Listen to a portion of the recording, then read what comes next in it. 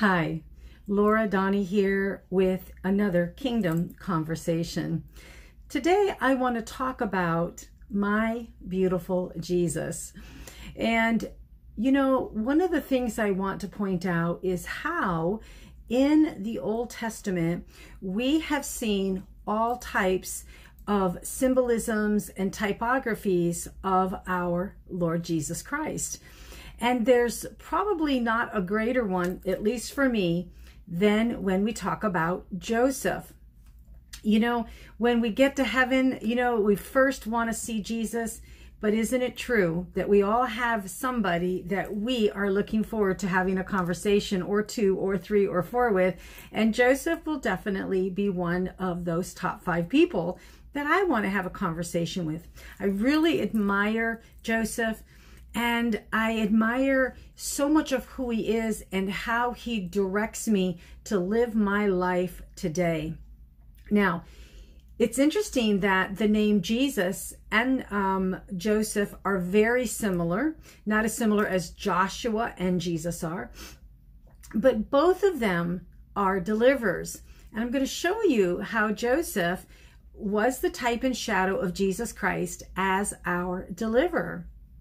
So, first, I just want to always remind you have the Word of God with you. You got to get into the Word so that the Word can get into you. And while I'm all about great preaching, um, I am going to say it until I go home into the kingdom.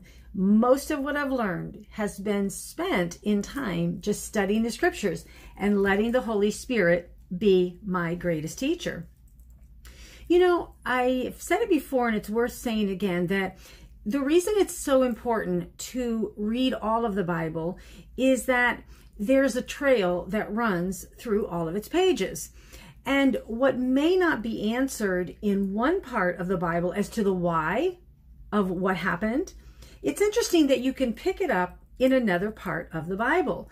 And when it comes to Joseph, this is a great reminder of how that's true. So our story you know, in this kingdom conversation of my beautiful Jesus, it really starts off um, in, I have it here. It's in Genesis, okay? Um, Genesis 37 through chapter 50. It's a lot of chapters. Bible has a lot to say about Joseph. Well, why wouldn't it? Because the Bible has everything to say about our beautiful Jesus. So the story of Joseph begins in um, chapter 37 and it may end in chapter 50, but guess what? It isn't until you get all the way over into Psalms 105 that you get an inkling as to the why of what happened to Joseph. But first, let me talk about the comparisons of Joseph and Jesus. Well, we know that Joseph was favored by his father. We know that Joseph was hated by his brothers. In fact, they hated him so much that they sold Joseph as a slave.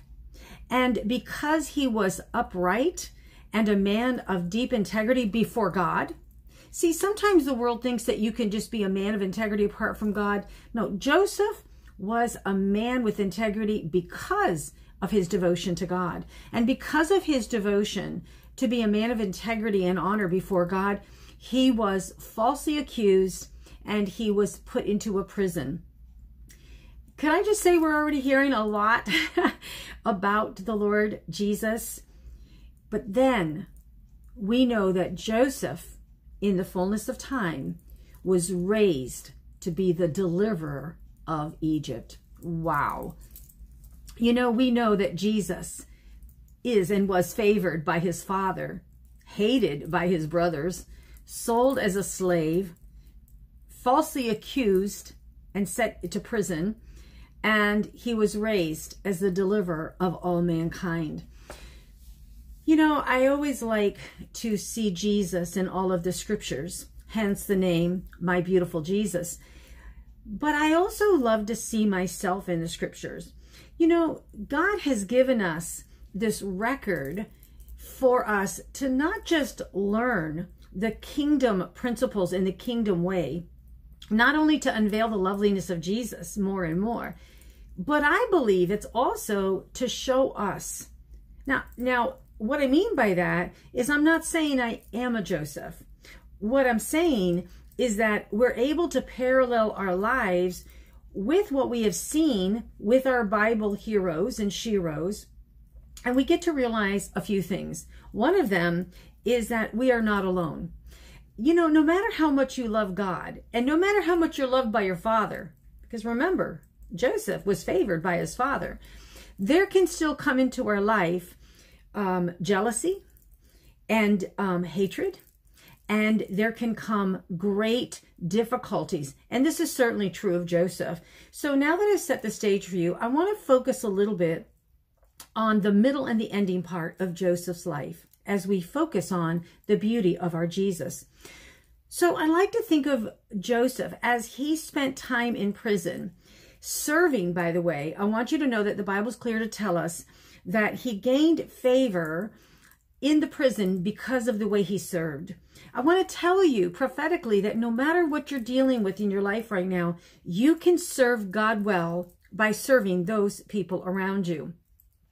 And the and I like to think, uh, even though the Bible doesn't talk a lot about it, I like to think how Joseph must have wondered had God gotten it wrong when he had given him these visions and these dreams about how he was going to become, um, you know, a deliverer? He was going to be great. You know, he had to say, Lord, clearly I misheard you. Clearly um, I was meant for nothing more than to die in this prison.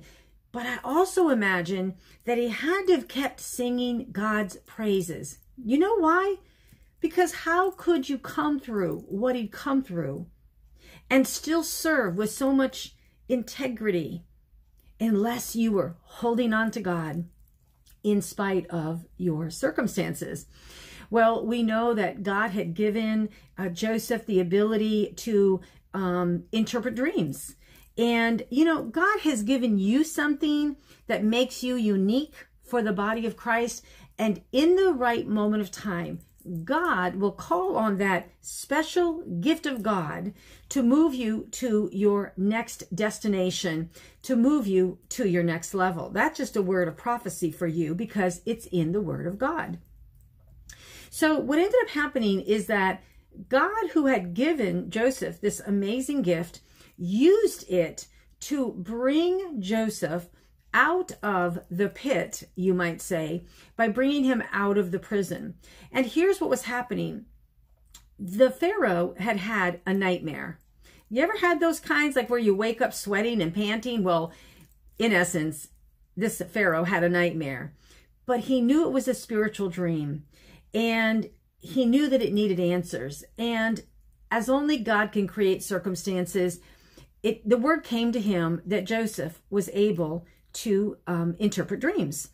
So Joseph, a prisoner in the pit, was brought before the greatest uh, man in the land uh, at that time, and that was Pharaoh. And and uh, he was able, uh, because of the Holy Spirit, able to discern Pharaoh's dream, and in it was a warning. There was a warning that for seven years there would be great plenty in the earth, and then for seven years there would be horrible, terrible famine. And so the call was to prepare. Well, Pharaoh put Joseph, right, the prisoner who was in the pit, okay, the one who was betrayed, the one who was lied about, the one who was falsely accused, he brought Joseph up and out of the pit and he made him second only to himself. Hmm. Does that sound another like another type right there of our lovely Jesus? That he is the beloved of the Father and the Father who has full authority has given Jesus full control. So this is what happened. So Pharaoh made him uh, over all of the province. In other words, everybody had to listen to Joseph. And this is where I want to move a little bit more into the beauty of our Jesus. Don't you know that the very brothers that sold Joseph into slavery, who deceived him, who tricked him, who betrayed him, that they were under a famine. and they they ended up having to go into Egypt to seek supply. And you really need to read the story because it's it is the best novel for sure. You don't need to read um, make believe stories. The Bible has true stories that hold our attention even way better than the best of fiction.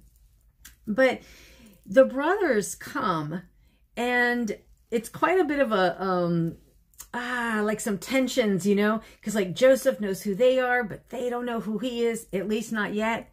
But then here it comes down finally. They finally do realize because Joseph tells them and here's the thing I, I really want to contrast not only the loveliness of Jesus with Joseph, but who we can be and who we should be in times of where we have been mistreated by those that we loved and trusted. So here's what we see is Joseph, even in his pain, he sought reconciliation. And the brothers ended up repenting. You know, you've heard me speak on other videos, and it's so important. There is a kingdom of God way that reconciliation works. And the way that it works, very simply, it's the gospel, is that, you know, there is an offense, there is repentance, there is forgiveness, and there's reconciliation. And see, the heart of Jesus is always for reconciliation. In fact, this is why in the New Testament, we are said that we are ambassadors those that belong to God. We are ambassadors to the world, letting the world know that God wants to be reconciled to them. So Joseph sought reconciliation, and it came through the repentance of the brothers. Joseph forgave them and Joseph blessed them. He blessed them in a number of ways. He blessed them by making sure that they had more than enough food and eventually bringing them to live in Egypt where he was. And um and and and all of that nation was um was eventually saved because of the loveliness of Joseph, who is but a type and a shadow of the loveliness of our Lord Jesus Christ. I want you to know that today Jesus is seeking reconciliation and he is longing for your repentance. Repentance you know, is the doorway through which we get to encounter the, the, the blood of Jesus. It's where we get to encounter the goodness of God poured out through Emmanuel's veins for the forgiveness of our sins. It's where we get to experience complete and utter forgiveness and to enter into the blessings of God. Now, the Bible's very clear that it's the goodness of God that leads us to repentance. Um, so you've already been experiencing the goodness of God, even if you're far away from him. And guess what? Joseph's brothers were experiencing the goodness of Joseph even before he confronted them with their sin. So the goodness of God leads us to repentance. But I want to tell you, repentance is an important part of this kingdom work because it brings us into reconciliation. And it certainly did bring uh, Joseph's brothers and eventually his beloved father, who thought that Joseph had died, into reconciliation with Joseph once again. So, why? You know, it's easy if we stand back and look and say, well, if God loved Joseph so much, why would he let him be put through so much hell? And I like to think that we look at things backward. We think that God's ways are backwards and upside down. No, no, no, no, no. Could we just agree that our ways are not his ways, our thoughts are not his thoughts. And God's plan is always a great plan. So go with me to Psalms 105. I hope you have your Bible because I love for you to see this for yourself. I can tell you, but there's something that happens when with our own eyes we see the word of God.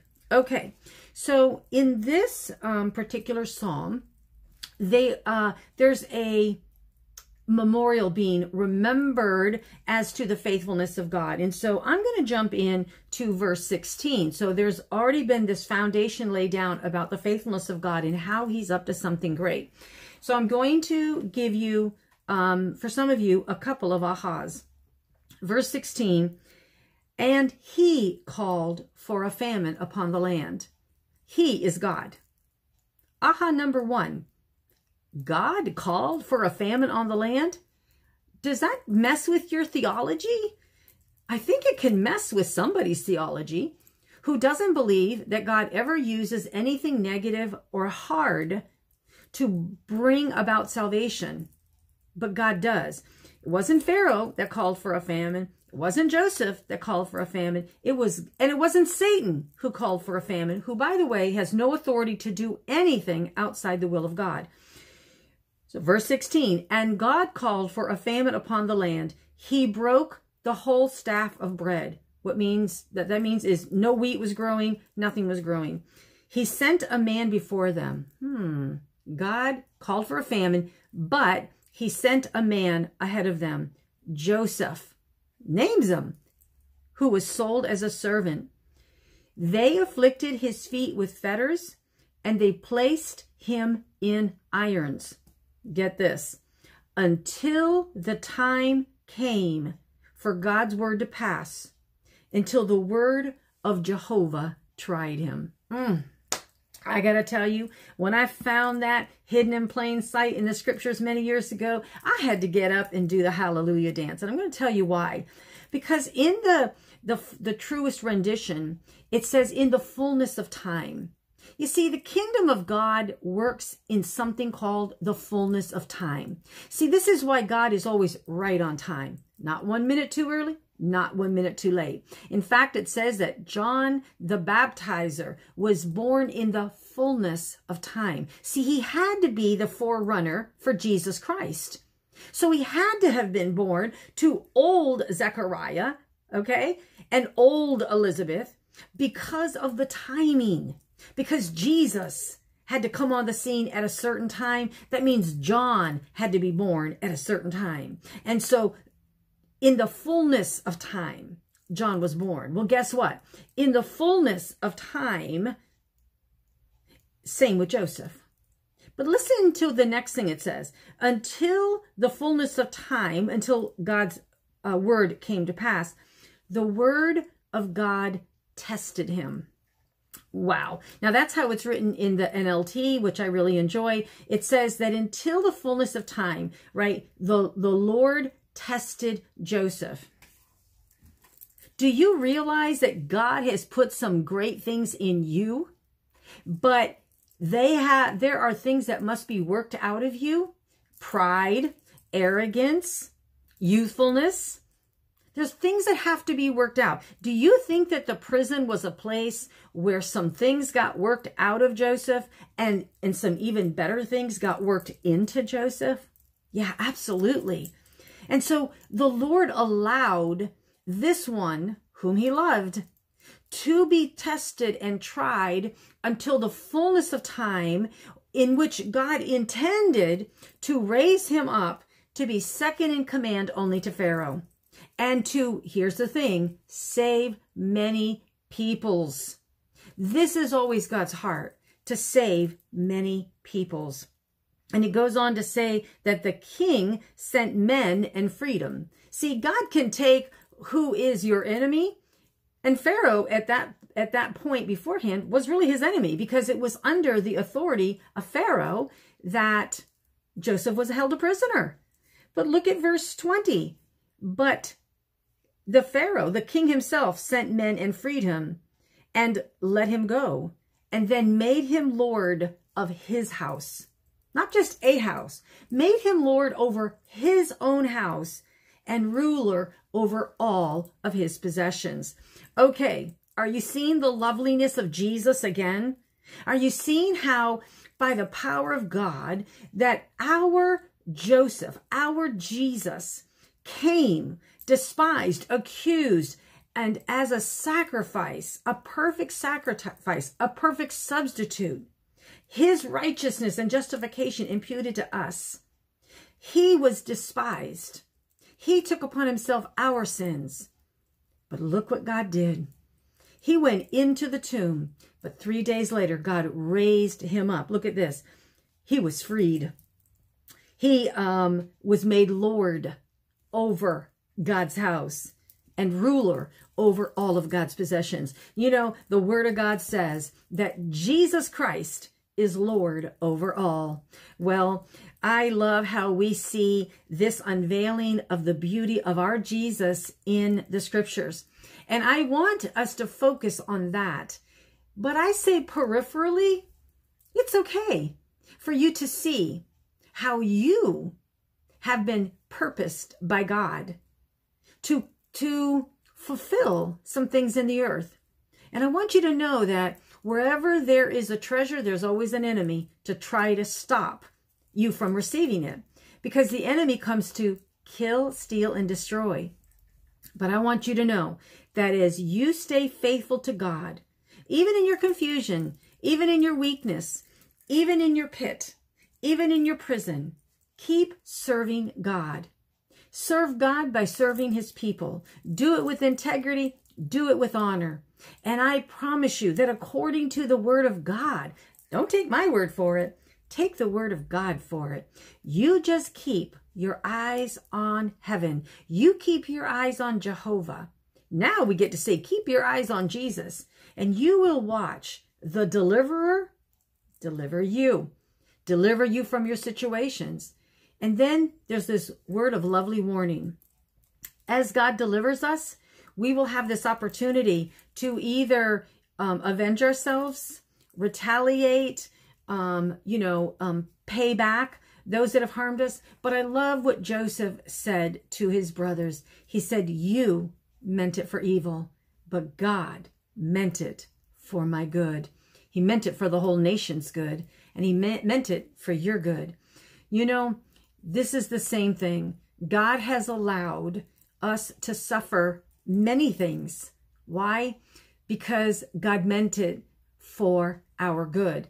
Listen, others may have meant it for our evil, but God has always meant it for our good. The question is, will we trust him and put our confidence that he is a deliverer and a liberator? And can you then walk in the ways of our lovely Jesus? And can you be one who is willing to be reconciled? Are you one who is willing to hear repentance? And, and in that repentance, are you willing to forgive? And in that forgiveness, are you willing to be reconciled? This is the way of our great King. This is the way of Joseph, but more so, it's the way of Jesus. So today, I really invite you, just meditate and focus on the loveliness of Jesus in the scriptures, but most importantly,